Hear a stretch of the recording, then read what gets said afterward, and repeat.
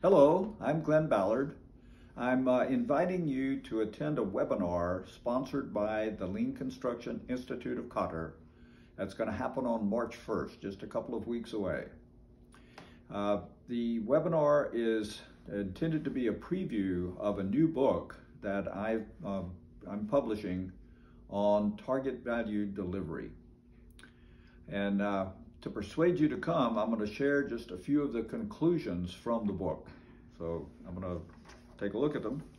First, using target value delivery has produced better buildings more efficiently and faster. Target value delivery has emerged in different times and places whenever uh, a fundamental change in performance is needed. And that goes all the way back to Henry Ford's uh, Ford in the 19, 1910s. Uh, waste is unexploited potential for improvement.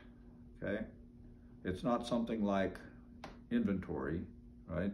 Excess inventory might be a waste, but if you don't have any inventory, you can't produce anything, right?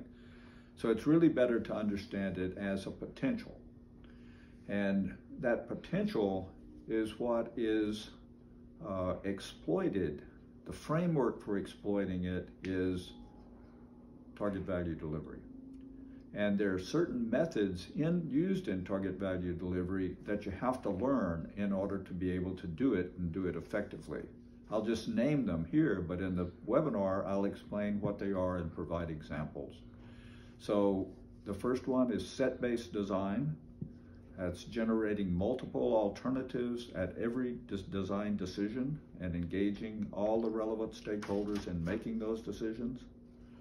The second is choosing by advantages. How do you make those decisions in the best possible way? It's the best way to get best value for money, right? And then the third is a collection of methods called value engineering, which are ways of developing greater value through invention, right? So everyone can do those methods, and so everyone can do target value delivery. You have to learn them, take some work, but it's worth it, right? Um, and everyone should do target value delivery because I'm convinced, and I think that hopefully the book will also convince and persuade you that it's not just a way to deliver projects, it is the way. I hope to see you at the webinar.